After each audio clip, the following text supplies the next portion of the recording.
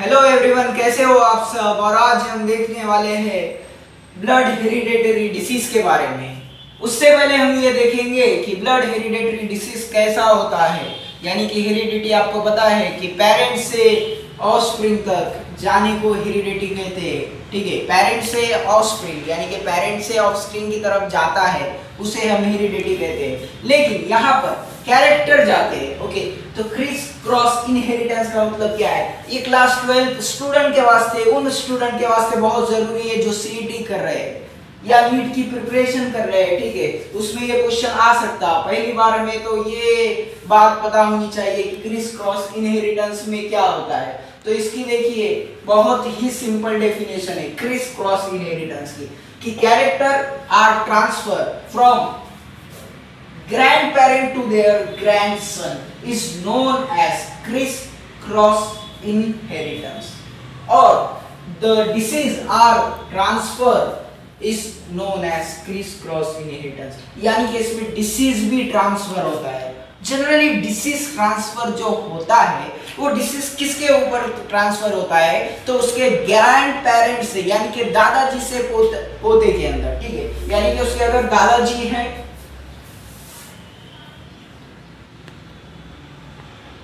तो उसके दादाजी से उसका जो पोता है, उसके अंदर ये डिसीज ट्रांसफ़र हो रहा है। ओके उसके ग्रैंड पेरेंट से, उनके ग्रैंड सन तक। ओके ग्रैंड पेरेंट से ग्रैंड सन तक ये डिसीज ट्रांसफ़र हो रहा है। जीपी जीएस इसका शॉर्ट फॉर्म अगर हमें याद रखना है क्रिस क्रॉस इनहेरिटेंस का GP GS general police general science अगर उसकी ट्रिक हमें याद रखना है तो। जीपीजीएस क्रिस क्रॉस इनहेरिटेंस तो कितना सिंपल है। कैरेक्टर ट्रांसफ़र हो रहे हैं ग्रैंड पेरेंट से ग्रैंड सन तक। और इसी को हम क्रिस क्रॉस इनहेरिटेंस कहेंगे। या disease are transfer is known as criss cross inheritance इसका एग्जांपल है haemophilia blood disease haemophilia haemophilia नाम याद है आपको, नाम आपने सुने जहाँ पर पेशेंट को ब्लड क्लॉट होता है, नहीं है ब्लड क्लॉट नहीं होता है। यानी कि क्या? ब्लड क्लॉट नहीं होता है, यानी अगर उसे जख्म हो गई तो वहाँ पर उसकी खपली जल्दी नहीं आती है। जैसा कि हमें पता है कि नॉर्मल जख्म के बाद कुछ एक दो दिन बाद खपली आती है, वो पर्सन को खपली नहीं आती है, और वो पर्सन का वैसा ही जख्म रहता है, और वहाँ पर फिर मक्खिया हम दो या कोई हम दो आके क्या करते घूमते यानी कि क्या हो रहा है? ये एक टाइप का डिसीज है। ये एक टाइप की बीमारी है। ठीक है? तो ये बीमारी कहाँ पर हो रही है? ये बीमारी ट्रांसफ़र भी होती है। ये बीमारी जनरली हीमोफीलिया ब्लड डिसीज में हो रही है। पॉज करें तो ठीक है तो हम देख रहे हैं हीमोफीलिया ब्लड डिसीज अब हीमोफीलिया क्या रहता है? It is a hereditary blood disease in which blood fails to clot और वेरी स्लोली देखिए, यहाँ पर क्या हो रहा है? ब्लड फॉल्स टू क्लॉट यानी कि वो खटरा नहीं है, जमरा नहीं है। अगर बॉडी की स्किन है, इसका हाथ है तो यहाँ पर अगर इंजरी हो रही है तो यहाँ पर ब्लड घटरा नहीं है, जमरा नहीं यहाँ से ब्लड सिर्फ़ फ्लो हो रहा है। फ्लो हो रहा है फ्लो हो रहा है फ्लोइंग फ्लोइंग ठीक है? तो ये ब्लड फ्लोइंग हो रही है। तो रेते क्या होता है। तो यहाँ पर क्या हो रहा है? ब्लड क्लॉट हो रहा है। ब्लड की क्लॉटिंग नहीं हो रही है। यहाँ पर क्लॉटिंग नहीं हो रही है। इसका मतलब क्या है? ब्लड जनरली यहाँ पर अगर कोई इन्फेक्शन हो रहा है तो ये इन्फेक्शन जो हो रहा है, वहाँ से क्या हो रहा है? खून जा रहा है, ये जो ब्लड है, बह रहा है, ठीक है? तो जनरली हम बोलेंगे it is hereditary blood disease in which blood fails to clot और very slowly very slowly deficiency are occurs in it यानी कि डेफिशिएंसी है. यानी कि इसमें हीमोफीलिया डिसीज में एक डेफिशिएंसी है. यानी कि यहाँ पर क्या हो रहा है? हम एग्जांपल के थ्रू देखेंगे. उससे पहले मैं आपको बता दूँ कि it is a bleeders diseases bleeders diseases का मतलब क्या होता है? ब्लीडर्स डिसीजेस यानी कि जहाँ पर खून बहता है या अपना जो रक्त रहता है वो कैसा होता है? सिर्फ़ बह रहा होता है जहाँ पर रुकता नहीं है. ठीक है?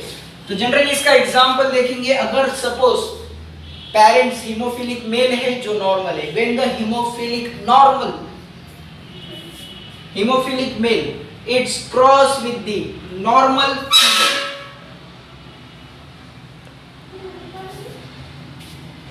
when, okay, so when a hemophilic male is crossed with the normal female तो आपको गैमेट्स मालूम है हीमोफिलिक यानी कि यहाँ देखिए रेसेसिव है।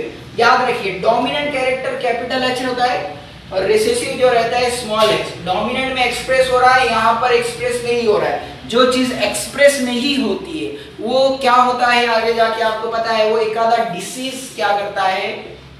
पैदा करता है, या डिसीज वहाँ पर एक नया जन्म होता है। तो यहाँ पर हीमोफिलिक मेल है X small H Y normal female X capital H X capital H यहाँ पर X capital H X capital H होने की वजह से। यहाँ पर गैमेट्स गिर रहे एक्स स्मॉल एच और यहाँ पर कैपिटल वाई क्योंकि ये जो है हिट्रोजाइगस है, यहाँ पर एक्स स्मॉल एच वाई यानी कि दोनों भी अलग अलग यहाँ पर एक एक्स है और यहाँ पर एक वाई और यहाँ पर हमने बात करें तो यहाँ पे ओनली कैपिटल एक्स है। अब ये दोनों भी क्या हो रहे हैं? जनरली हमने देखे ये नीचे की तरफ़ आ गए अब इनका क्रॉस हो रहा है। क्रॉसिंग हुआ एक्स एच और ये एक्स एच ठीक है। ये क्या डोमिनेंट होने की वजह से सामने आया और ये रेसिसिव होने की वजह से आगे आया। और उसके बाद कैपिटल एक्स कैपिटल एच और ये कैपिटल वाई तो इसका यहाँ पर एफ़ जनरेशन निकल चुका है।